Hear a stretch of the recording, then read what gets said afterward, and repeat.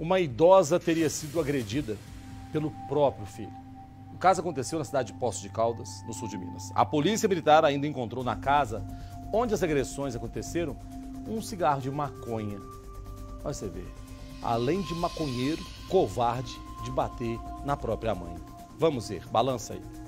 Segundo a Polícia Militar, algumas pessoas fizeram uma denúncia dizendo que uma idosa de 65 anos estava sendo agredida pelo próprio filho, que tem 29 anos. O caso estaria acontecendo em uma residência que fica no bairro Vila Rica.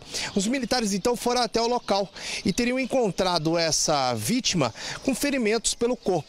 O homem estaria escondido no banheiro. A polícia conversou com esse suspeito que depois de algum tempo saiu e acabou sendo preso.